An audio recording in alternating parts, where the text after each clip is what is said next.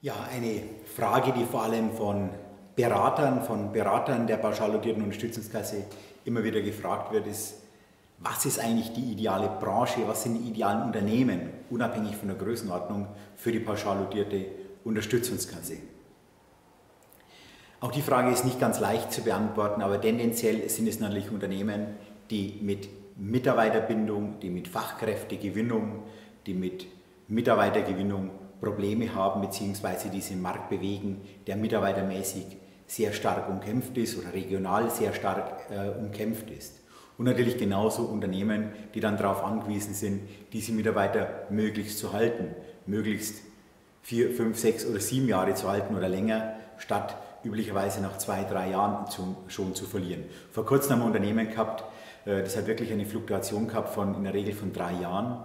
Ähm, hier hat man natürlich auch zur Einführung der pauschal lodierten Unterstützungskasse geraten, aus der tiefsten Überzeugung heraus, dass die Mitarbeiter, zumindest ein Teil oder vielleicht sogar Großteil davon, statt zwei, drei Jahre, vielleicht sogar fünf oder sechs Jahre bleiben.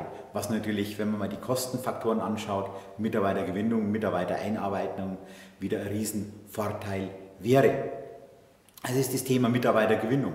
Was oft verkannt wird und oft als Hauptargument ist das Thema Fluktuation.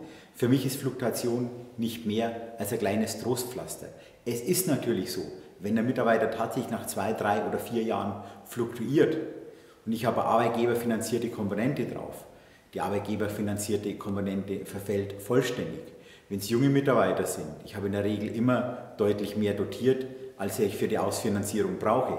Das heißt, ich habe einen Fluktuationsgewinn egal wann der Mitarbeiter geht, ob er nach zwei, drei, vier Jahren geht oder erst nach sechs Jahren oder 14, 15, 17 Jahren geht, ich habe in der Regel immer einen Fluktuationsgewinn. Das aber nicht mehr als ein kleines Trostpflaster, das vielleicht das Gehen versüßt. Wichtig ist, dass die Mitarbeiter gehalten und gebunden werden.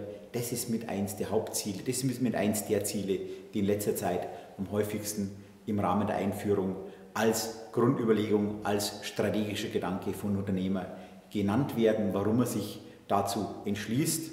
An zweiter Stelle folgt dann das ebenfalls sehr wichtige strategische Moment Bankenunabhängigkeit, Liquiditätsreserve, zunehmende Bankenunabhängigkeit und finanzielle Freiheit.